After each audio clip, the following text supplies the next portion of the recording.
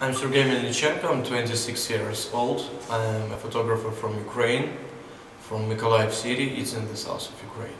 Uh, I have the opening of the collective exhibition uh, Surface Sensitive uh, in the Vasli Souza Gallery. Uh, that's why I'm here. Uh, I'm showing here the project which is called Schwarzenegger is my idol. It was made in 2012-2013 uh, in Ukraine. Yeah, it's about the athletes, it's about the guys' uh, masculinity, the naked nude theme, uh, ironic one. Uh, it is the first serious project which I made in Ukraine. It's like a series which I made like a project.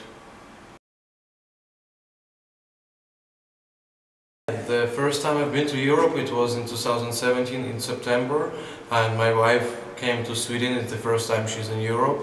Uh, I was, it's not, uh, it's not so many possibilities for Ukrainian people to come to Europe, you know, if they even want that because of the low salaries there and the expensive, uh, for them, for expensive uh, costs of the tickets, uh, the living costs uh, here in Europe and something like that, like that, like that. So not so many people have the opportunities just to go on the vacations, on the holidays, on the weekends, go to Europe from Ukraine, just, okay, I buy a ticket and I go.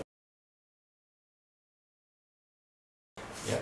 Utopia for me is what is happening right now in my own country, in my city, yeah, where people need to live and collect money for living just just to take some uh, needs, some food, to pay for some goods and that's all. And they work, work, work every day and they live for work and work for live.